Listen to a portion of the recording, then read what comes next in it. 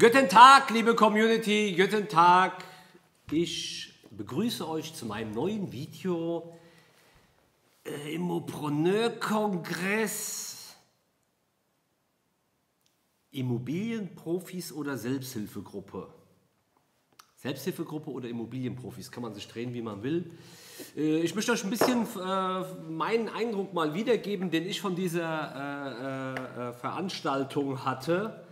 Und ähm, ja, erstmal, ich habe nicht die gesamte Veranstaltung gesehen, ich habe hier und da mal reingeschaut, weil ich nämlich Angst hatte, dass mir irgendeiner am Ende etwas dafür berechnet, ja. Weil es war ja so, diese Veranstaltung, ähm, also nach, meinem, nach, meinem, nach meiner Erinnerung war das ja so, Zuerst hieß es, es wird Veranstaltungen geben, wo man Karten für kaufen kann. VIP-Karten und irgendwie, äh, also VIP-Karten oder wie ich sie gerne nenne, Selbstbeweihräucherungskarten. Ähm, und halt normale Silber, Bronze, glaube ich, gab es mal. Vielleicht war das auch das Jahr davor. Auf jeden Fall gab es dann. So. Also wir wissen ja alle, dass wegen äh, Corona, ja, äh, oder wie die Aluhutträger gerne sagen, wegen der Grippe, ähm, diese Veranstaltung nicht möglich war. Also war es so, dass du, dass du, ähm, das Licht blendet ein bisschen, das war so, dass du ja dann ein Online-Ticket kaufen konntest, ja, quasi, dass du dann online daran teilnimmst, ja, und ähm, das gegen Bezahlung. Und dann auf einmal war es so, ja, dass die Behandlung, äh, ich meine die Veranstaltung, äh, kostenlos war auf einmal. Du musstest nur, du musstest nur deine See nicht, sorry, nicht deine Seele verkaufen oder angeben, sondern du musstest eine E-Mail-Adresse angeben und deinen Namen, ja, äh, damit du dann daran teilnehmen kannst. Natürlich habe ich das nicht gemacht, weil ich mir gesagt habe, äh, ich bin schon auf so vielen Pornoseiten angemeldet, ja. Äh, ihr wisst ja alle hier, Thema Herz-Kreislauf-Übung ist ja im Moment in aller Munde. War das jetzt schon wieder eine Anspielung auf, auf Lace und sowas? Nee, alle, man kann ja nichts mehr sagen, ohne dass irgendwie ein Verweis zum Bums-Tagebuch gemacht wird. Äh, auf jeden Fall habe ich meine Daten natürlich nicht eingegeben und an, am Tag der Veranstaltung hat mich dann jemand gefragt, ob ich denn auch daran teilnehmen würde. Habe ich gesagt, nö. Habe dann aber aus Neugierde das bei YouTube eingegeben und siehe da, auf einmal war ich umsonst drin in der, in der, in der Muppet Show, hätte ich jetzt beinahe gesagt, ich will das ja gar nicht abwertend be, be, bedingsbumsen. Ach, jetzt habe ich wieder Bumsen gesagt. Eieieiei. Also auf jeden Fall bei dem Immopreneur-Kongress, ich muss ja aufpassen, was ich sage, weil es gibt ja Leute, die wollen dann anwaltlich gegen mich vorgehen, wenn ich denen deren Geschäft schädige. Ähm, da komme ich aber auch gleich noch zu. Ja, auf jeden Fall war ich dann drin in dieser Veranstaltung, ja, kostenlos, ohne Registrierung, ohne alles. Dann denke ich mir, was soll das denn jetzt bitte? Was soll das bitte im Vorfeld zu, zu, zu, zu äh, veröffentlichen, dass die, dass die Dings Geld kostet? Dann auf einmal kostet es kein Geld, du musst dich aber registrieren und am Ende des Tages kommst du da ohne jegliche Registrierung rein. Da tut sich natürlich der Verdacht auf, ja, ist das vorher ein Adresssammeln gewesen oder nicht? Hier, bildet euch eure eigene Meinung, ich gebe immer nur Denkanstöße, ja. Und äh, ja, dann war ich auf jeden Fall drin in der Veranstaltung. Die war auch hier und da, war sie auch inhaltlich gut, muss ich auch sagen. Ja, der Investmentbank hat einen recht ordentlichen Vortrag gehalten, hat zwar ein paar Passagen von mir geklaut, ja, mit Caritas und sowas. Das ist ja mein Spruch eigentlich. Aber gut, Gerald, das sei dir verziehen. Und ähm, ja, und dann, äh, wie gesagt, waren ein paar gute Sachen dabei, aber ansonsten hatte ich hier und da echt äh, äh den Eindruck, ja, äh, ist das jetzt so, ein, so eine Selbsthilfegruppe, Immobilien? Äh, was, was machen die da? Ja, ihr habt alle gesehen, was da teilweise, ja, hey, yo, hey, oh yeah, ich mach den größten großen Deal. Da frage ich mich, wie soll das gehen? Wenn die da alle hocken, inklusive dem Patienten am Bildschirm, und die wollen alle den nächsten großen Deal machen, wie soll denn das gehen? Ja, den nächsten großen Deal macht, wenn dann nur einer, ja, Und das ist der Baba aller Immobilieninvestoren, der äh, äh, 30 Mehrfamilienhäuser in einem Jahr gekauft hat. Könnt ihr ja selber bei bundesanzeiger.net mal die Daten eingeben. Naja, auf jeden Fall äh, war das schon recht amüsant, ja, teilweise, was da äh, versucht wurde, für einen Witz rüberzubringen. Da kann ich nur sagen, entweder man ist lustig oder man ist es nicht. Man sollte es nicht probieren. Deswegen drehe ich meine Videos auch immer frei raus. Aber auf jeden Fall habt ihr für viel Unterhaltung gesorgt. Dafür möchte ich mich bedanken. Das möchte ich auch äh, neidlos anerkennen, dass ihr uns sehr viel Selbstschämen beschert habt. Das war, das war gut. Auch die liebe Supermaklerin geht ein Gruß raus an sie. Die, hat, die ist mir ja gefolgt eine Zeit lang, nachdem ihr Account gehackt wurde ist sie mir gefolgt auf meinem Account mit ihrem neuen. Dann habe ich Werbung für sie gemacht, dann ist sie mir wieder entfolgt. Ja, also trotzdem schönen Gruß an die Supermarkerin. War eine geile Sache, ja, den Jakob Mehren zu fragen, ob du seine Objekte verkaufen kannst. Dass uns allen klar ist, dass du das für Publicity gemacht hast. Ähm, das weißt du auch, aber ich muss hier wirklich neidlos anerkennen, das hast du clever gemacht, weil du bist in aller Munde. Allein bei mir hatte das Video, glaube ich, über 4000 Aufrufe. Also von daher hast du dein Ziel erreicht. Und ich fand es wirklich mega lustig. Und äh, ich glaube, da ist ja auch keiner böse drum. Ja, äh, warte mal kurz. Die, was? Chef? Ja. Nee, nee, ich mache hier nur gerade, äh, ich mache hier gleich einen Sekt auf. Zum Sekt trinken. Was? Nein, ich drehe kein Video über eine Sekte. Ich habe hier einen Sekt, den mache ich gleich auf, den können wir gleich trinken. Ja, in der Mittagspause aber, Chef. Ja, nein, nix Sekte. Das ist keine Sekte. Gott, also bitte.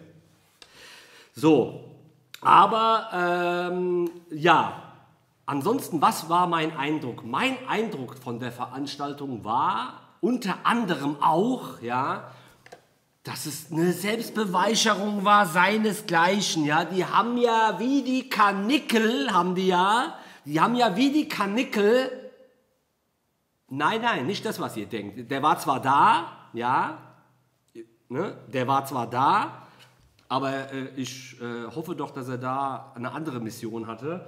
Ähm, nein, die haben sich wie die Kanickel gegenseitig interviewt. Der den, der mit dem, dann der auf dem, der über dem, der über den, der über den. Also äh, ganz ehrlich, Leute, die, äh, neben diesen ganzen Coachings, ja, die Leute haben eure Interviews auch satt. Ich meine, ich gebe auch ein Interview, wenn ich davon überzeugt bin, dass die Person Interesse an meiner Person hat oder an meiner Arbeit hat. Ja? Ich habe etliche Interviewanfragen schon abgelehnt. Ähm, aber das, was ihr da getrieben habt, da der interviewt den und der interviewt den, der macht es auf seinen YouTube-Kanal, der macht es auf seinen, der andere hat in drei Tagen 400 Aufrufe, der andere hat 200 Aufrufe. Ja? Und dann wurden teilweise ja in Videos auch, wurde auch über den Anti-Coach gesprochen ja, und dann wurde behauptet hier, wie Rumpelstilzchen würde ich da, weißt du, ganz ehrlich, euch geht doch allen der Stift hier.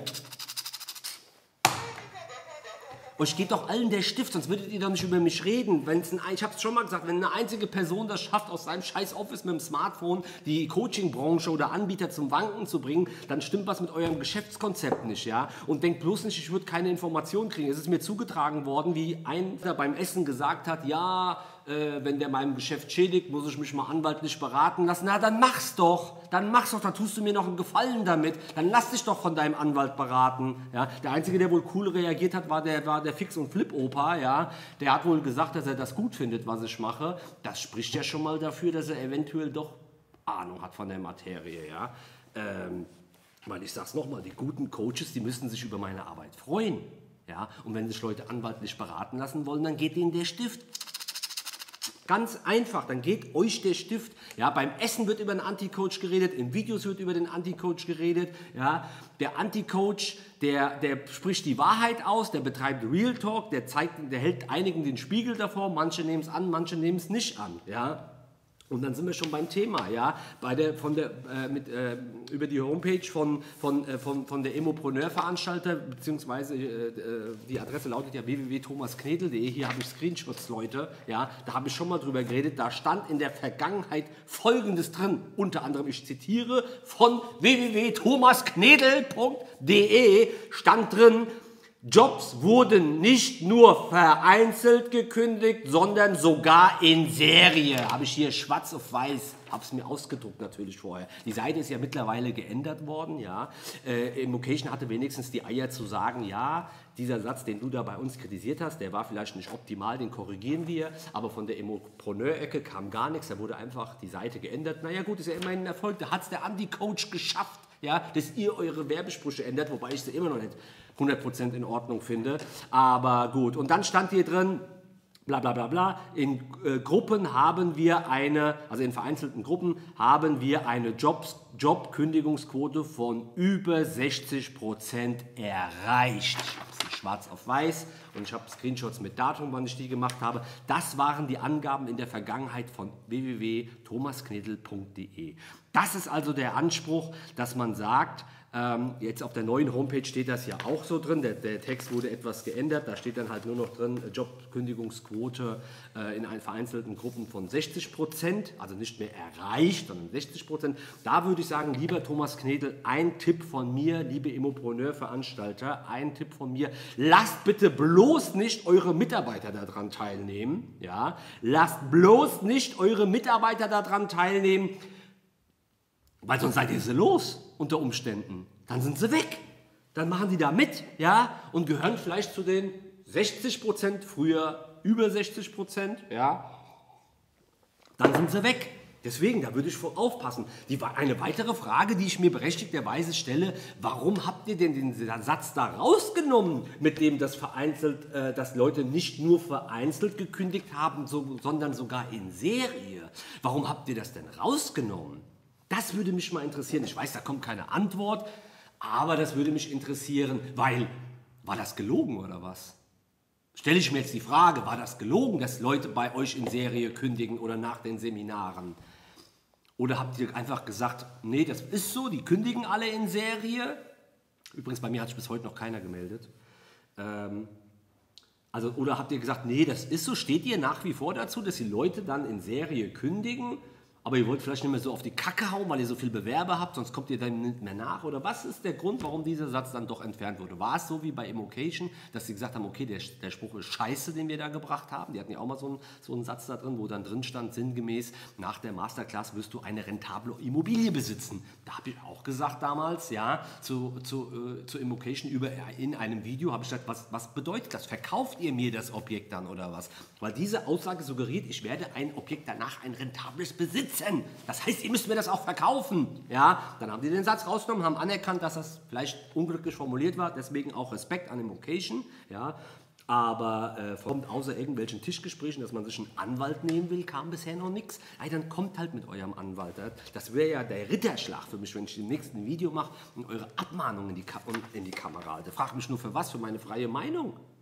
Oder, oder für eure Sprüche? Ja? Komme ich an und sage, ich gründe jetzt eine Coaching-Agentur ja, ich könnte ja ein Gewerbe anmelden, kann ja jede Hanswurst machen, ja. Kann ja jede Ex-Beamte, jede Hanswurst, jeder, jeder Pimpf kann ja eine, eine Coaching-Firma gründen. Dann könnte ich ja eigentlich eine Coaching-Agentur gründen und könnte euch dann abmahnen lassen für solche Sprüche, weil ich einfach sage, das gefällt mir nicht. Zum Beispiel. Ja? Aber sowas macht der Anti-Coach nicht. Wir regeln unsere Dinge ohne, oder ich regel meine Dinge ohne Anwalt. Ja? Wir sind ja auch quasi Nachbarn, ja? wir sind ja beide in Hessen. Gut. So, und dann, äh, gut, also wie gesagt, Thomas Knedel oder die Mopreneur-Veranstalter oder wer auch immer haben ihre Seite umgebaut. Dafür, das kann man auch ruhig sagen, die ist verbessert worden, definitiv, ja.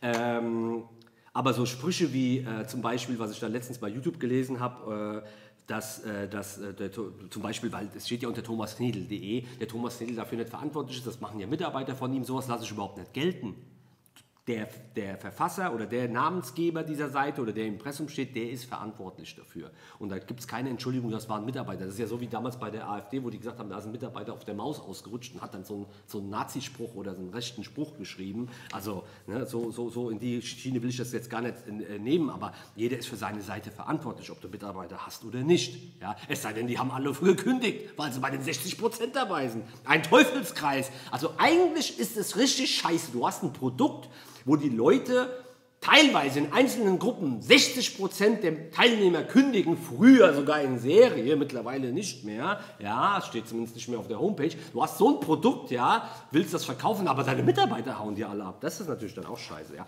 So, kommen wir zur neuen Seite. Da lesen wir wieder das übliche, ja, ich zitiere wieder von www.thomasknedel.de. Da haben wir wieder das, das typische Werbegelaber, hätte ich fast gesagt. Und zwar ist hier davon die Rede, dass die Masterclass natürlich für alle geeignet ist. Für Quereinsteiger, für Berufstätige, für Investoren, für Unternehmer. Du musst dich natürlich bewerben, die Plätze sind beschränkt, bla bla bla bla, bla bla bla. Warum fliegt denn die Scheiße wieder zurück zu mir? Was soll denn das? Der Anti-Coach zieht das magisch an. Wundert mich, dass mir die Nase nicht läuft. Ja? So, und äh, halt die typischen Dinge, ja, du musst dich bewerben und bla und ob du zu uns passt und hier und so. Und jetzt pass auf, jetzt kommt's.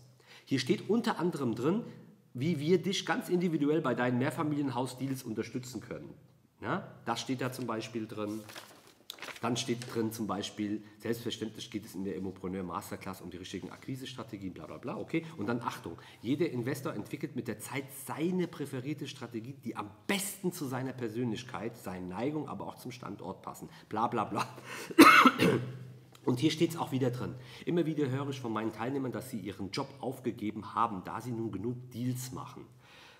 In einer Gruppe, in einer Gruppe steht jetzt hier. Hier steht jetzt in einer Gruppe. Bei anderen, in der Vergangenheit stand da äh, in vereinzelten Gruppen, also in mehreren, die Mehrzahl. Jetzt ist nur noch von einer Gruppe die Rede. Das heißt, es könnte sogar rein theoretisch sein, es war eine kleine Dreiergruppe, ja, alle drei zusammen in einer Gruppe und dann haben zwei gekündigt, dann hast du über 60% Kündigungsquote. Das ist richtig. Wenn man das einmal geschafft hat, sollte man natürlich das auslutschen bis zum Sand nimmer. Jetzt habe ich schon wieder lutschen gesagt. Also dieses PU-Buch, das verfolgt mich auch überall hin. Naja gut. Also auf jeden Fall steht dann hier, ich zitiere, in einer Gruppe haben wir sogar eine Jobkündigungsquote von über 60% erreicht. Steht hier wieder drin. Ja? So, hier steht es wieder drin bei der, auf der Seite www.thomasknedel.de steht, ich gehe hier gerade nochmal rein, dass ihr es nochmal seht, ja, oder dass ich es euch nochmal vorlesen kann, zitieren kann. Ja. Hier steht das drin mit, hier, hier steht ganz dick als blaue Überschrift, steht hier, in einigen Gruppen haben wir eine Jobkündigungsquote von 60 Prozent. Ausrufezeichen. Dann werden hier so ein paar Patienten, also beziehungsweise ein paar Teilnehmer interviewt, da komme ich auch gleich nochmal zu, ich habe mir eins angehört davon. Ja, das steht da drin. In einigen Gruppen haben wir eine Jobkündigungsquote von 60 Prozent. Dann ist aber der Werbemann hingegangen, hat scheinbar den alten Spruch nochmal übernommen, denn hier steht drin, weiter unten, und zwar unter dem äh, bei, bei den FAQs oder wie man das nennt, ne, bei Fragen, häufige Fragen zur Masterclass, Überschrift lerne ich auch den Ankauf von Immobilien bei euch. Steht hier drin. Immer wieder höre ich von meinen Teilnehmern, dass sie ihren Job aufgegeben haben, dass sie nun genug Deals machen. In einer Gruppe haben wir sogar eine Jobkündigungsquote von über 60 Prozent erreicht. Auch wenn du nicht gleich deinen Job an den Nagel hängen möchtest, lernst du, wie du nicht nur lukrative Deals findest, sondern wie du sie auch sicher an Land, bla bla bla bla. Also, Spruch habe ich jetzt oft genug wiederholt. Da einmal steht so da, einmal steht so da. Bildet euch bitte eure eigene Meinung dazu, ob das, ob das, ob das äh, seriös ist oder ob das okay ist, dass wenn man Immobiliendeals macht, dass man seinen Job kündigen sollte. Überlasse ich jedem selber. Ich lese hier nur vor, was hier steht, sage meine Meinung dazu. Aber der Hauptpunkt, was ich hier gelesen habe, ist, jeder Investor entwickelt mit der Zeit seine, seine präferierte Strategie, die am besten zu seiner Persönlichkeit passt. Das steht hier. So, und was steht hier drin? Ganz oben, ja, bei www.thomasknetel.de. Die Überschrift auf der Homepage leistet für Quereinsteiger und fortgeschrittene Investoren. Und dann steht hier, kopiere den genauen Prozess, mit dem ich in den letzten Jahren einen Bestand von 50 plus Mehrfamilienhäusern aufgebaut habe. Also, du sollst natürlich das Ding eins zu eins kopieren. Das ist ähnlich wie in dem Video, wo ich letztens gesagt habe, wo ein Coach gesagt hat, er würde etwas buchstabengetreu umsetzen. Ja, hier schreiben die auf der Seite, dass du den Prozess genau kopieren sollst und wenn du ein bisschen runterscrollst, sollst du dann doch deine eigene Strategie entwickeln. Also, was ich damit sagen will, es ist wie bei jedem anderen Anbieter auch, ja, ob das jetzt Immopreneur ist, Immocation ist, äh, äh, Immo Cashflow ist, Vermietertagebuch ist, äh, was es noch, Alex Lang gibt es, es äh, Kindergartenkops und was weiß ich, was es alles gibt, ja. Ähm, am Ende hört ihr überall die gleichen Sprüche. Darum geht's. Ja, darum geht's einfach. Und da möchte ich einfach euch die Augen öffnen, dass ihr da vorsichtig sein sollt und einfach nicht alles glauben solltet. Kommen wir doch noch mal kurz auf die Kandidatin oder Teilnehmerin, die da interviewt wurde. Leider hat sie nicht gesagt, dass sie gekündigt hat. Andererseits gebe ich auch gar nichts auf solche Interviews, wenn da einer sagen würde, dass er gekündigt hat. Ja, nur weil sie einen vor die Kamera schleppen im Francie-Style, ja, so wie Immocation das gemacht hat. Ja, mag sein, dass die Leute investiert haben und da stolz drauf sind. Ich glaube eher, dass solche solche äh, Leute nur nach vorne gestellt gestellt werden, um, um, um andere anzufixen. Ja. Was sagt sie? Sie will, in der Mehrfamilie, äh, sie will Mehrfamilienhäuser aufbauen in der Familie mit ihren Geschwistern oder so, das habe ich wohl verstanden. Und was hat sie? Und dann, dann war das so, ne? das lief ja so ab, dass der Typ, der die interviewt hat, das war ja wie ein Polizeiverhör. Frage gestellt. Wo waren Sie am Abend des 8. November? Wo waren Sie? Also Gut, Interviews kann man eigentlich auch ein bisschen charmanter führen, aber das äh, nur mal als kleiner Verbesserungsvorschlag. Naja, die Frau hat sich, was sagt sie zu dem, was hat sie zur Masterclass gesagt am Ende des Tages? Sie hat weder gesagt, dass sie was gekauft hat, sie hat weder gesagt, dass sie gekündigt hat. Äh, sie hat einfach gesagt, dass sie sich kleine Tipps und Tricks erhofft, dass sie netzwerken will. Netzwerk war irgendwie das über alles, ja. Also wenn meine Empfehlung ist, wenn man netzwerken will, geht auf kostenlose Stammtisch in eurer Region. Also was bringt euch ein Netzwerk von irgendeinem, der in San, San, äh, Timbuktu oder sowas wohnt, ja. Aber okay, sie will Co-Investoren finden. Da frage ich mich, hä, sie will doch mit ihrer Familie investieren.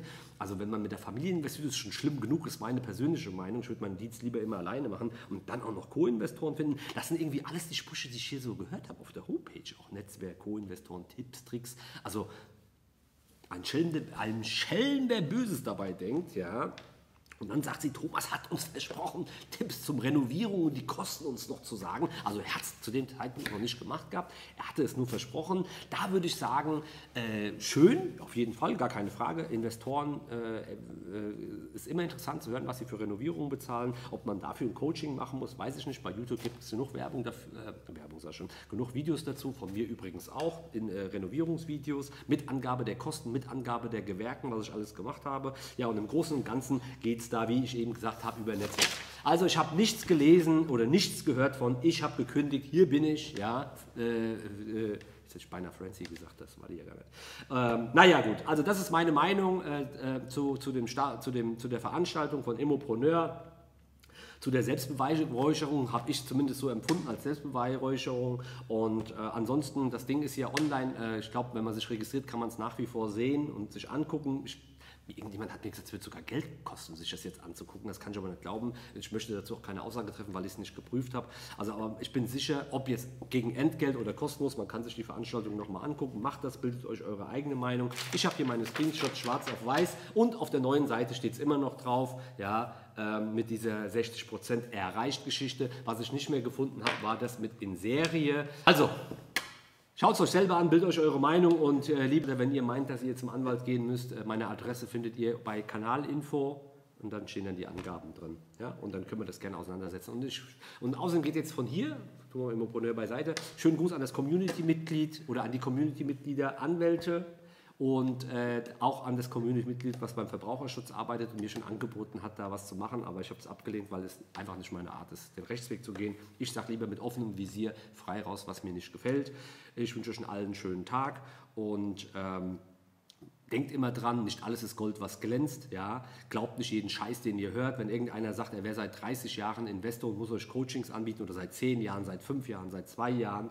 Ja? Noch schlimmer finde ich die, die in den zweistelligen Bereich gehen und sagen, äh, äh, sie wären so lange äh, erfolgreiche Immobilieninvestoren und euch dann Coachings verkaufen wollen. Da wäre ich wirklich immer höchst, höchst vorsichtig. Ja, das muss nicht heißen, dass es nicht stimmt, aber ich wäre da vorsichtig und denkt immer an meinen Pilzsammler und lasst euch vor allem nie unter Druck setzen bei irgendwelchen Bewerbungsgesprächen, wo nur noch zwei Plätze frei sind. Ja, da wären wir wieder bei den Hasenöhrchen. Macht's gut, ciao.